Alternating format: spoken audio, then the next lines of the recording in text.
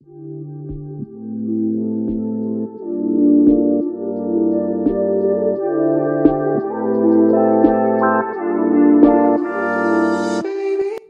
and welcome back to another video और guys आज आप सभी के लिए फिर से मैं लेके आया हूँ एक बहुत ही बढ़िया सेटिंग जिसकी मदद से आप अपने फ़ोन के बॉटम में भी स्टेटस बार इनेबल करवा सकते हैं। लाइक कुछ इस तरह से। और वो भी दोस्तों बिल्कुल एंड्रॉइड 9.0 पाई की तरह।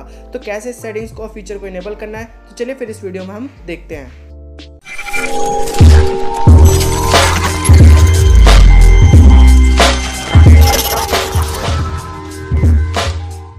गाइस इस तरह की बढ़िया एप्लीकेशन या तो आपको डिस्क्रिप्शन में मिलेगी या फिर आपको गूगल प्ले स्टोर पे अवेलेबल मिल जाएगी। तो मैंने दोस्तों वीडियो के डिस्क्रिप्शन में लिंक दे रखा आप डायरेक्टली वहाँ से डाउनलोड कर सकते हैं और मैं आपको प्ले स्टोर पर दिखाता हूँ, जिसका नाम है बॉटम क्विक सेटिंग तो आपको इसे डाउनलोड करना है, बहुत ही कम साइज़ है, इसको इंस्टॉल कर लेना है। तो दोस्तों सोचिए, कई लोग दोस्तों क्या होता है कि टॉप में जो स्टेटस बार होता है, उनका वहाँ तक हाथ नहीं पहुँच पाता है।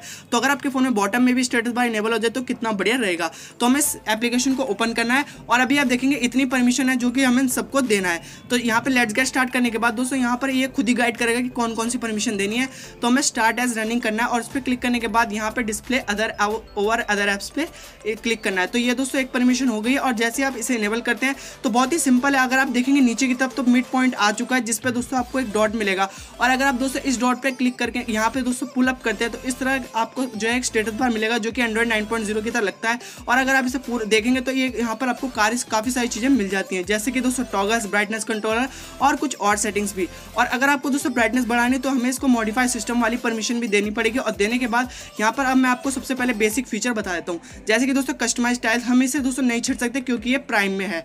तो यहाँ पर प्राइम में दे रखा, उसके बाद कस्टमाइज स्लाइडर दोस्तों, ये क्या है कि अगर आप देखें मीडिया वॉल्यूम अगर आप किसी पर भी क्लिक करते हैं और फिर पुल अप करते हैं तो दोस्तों जो है वो आपका जो ऐड हो जाएगा। अब आप दोस्तों यहाँ पर मीडिया की भी जो वॉल्यूम है, उसको भी एडजस्ट कर सकते हैं। इसके बाद कस्टमाइज कलर मिलता है, ये भी दोस्तों प्राइम में दे रखा है। और उसके बाद यहाँ पर कस्टमाइज दोस्तों हैंडल मिलता है। आप इसे बिल्कुल भी ना छेड़े, क्योंकि ये बिल्कुल अपने आप जो है सेट रहता है।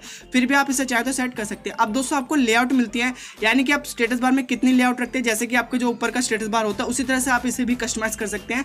जैसे कि नंबर ऑफ़ कॉलम्स मैं बढ़ा देता हूँ तो यहाँ पे जो स्टेटस बार है, उसकी जो कॉलम है, देख सकते हैं कितनी ज़्यादा बढ़ गई है। इसी तरह से आप इसमें काफ़ी कुछ ऐड करके उन्हें यूज़ कर सकते हैं। तो दोस्तों, यहाँ पे कोई भी सेटिंग ना छेड़ें, और दोस्तों, सबसे अच्छी बात इस एप्लीकेशन की है कि आप इसको किसी भी अपने फ़ोन फीचर में, यानी कि किसी भी एप्लीकेशन में ऑन कर सकते हैं, और काफ़ी बढ़िया से वर्क करती है। अगर देखेंगे तो ब्राइटनेस कंट्रोल है, वो बहुत ही बढ़िया से हो रही है। साथ ही आपको यहाँ पे कुछ और फीचर मिल जाते हैं जिन्हें आप यूज़ कर सकते हैं लाइक टॉर्च और भी। तो गाइस अब आपके फ़ोन में दो दो स्टेटस बार है। मतलब एक तो आपका टॉप वाला है जिसको आप यूज़ कर सकते हैं और दूसरा आपके बॉटम में भी दोनों ही स्टेटस बार को आप यूज़ कर सकते हैं। और एक बात मैं आप सभी लोग को और बताना चाहूँगा कि रिसेंट एप्लीकेशन में जाकर आप इस एप्लीकेशन को लॉक कर दीजिए लॉन्ग प्रेस करके। उसके बाद दोस्तों, जो यानी कि जो शॉमी की फ़ोन की प्रॉब्लम होती है तो वो दोस्तों सॉल्व हो जाएगी। तो गाइज़ बस इस वीडियो में इतना ही। और अगर आपको एप्लीकेशन अच्छी लगी तो इस वीडियो को लाइक करना। And don't forget to like and subscribe. So guys thanks for watching.